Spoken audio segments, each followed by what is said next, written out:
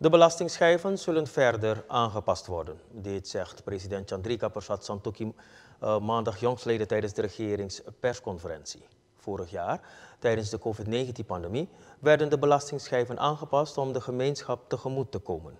Volgens de eerste burger van het land moet er weer een ronde volgen waarbij de belastingschijven in het voordeel van de gemeenschap verder aangepast zullen worden.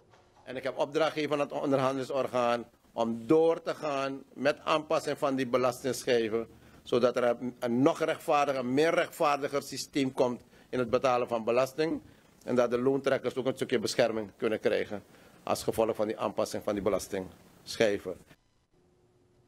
Volgens de president moet de BTW goed uitgelegd worden aan de samenleving. BTW is niet iets nieuws en zal per 1 januari 2023 volledig ingevoerd worden in Suriname.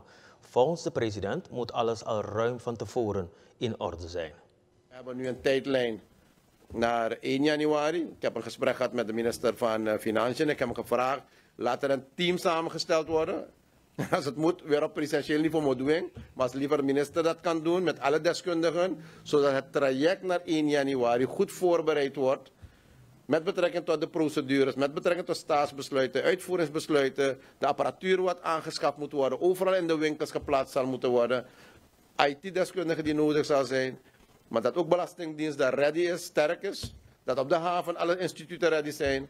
Kortom, een heel programma moet in place zijn om te zorgen dat we niet alleen BTW-wet goedkeuren, maar ook BTW goedgekeurde wet met alle besluiten gaan implementeren.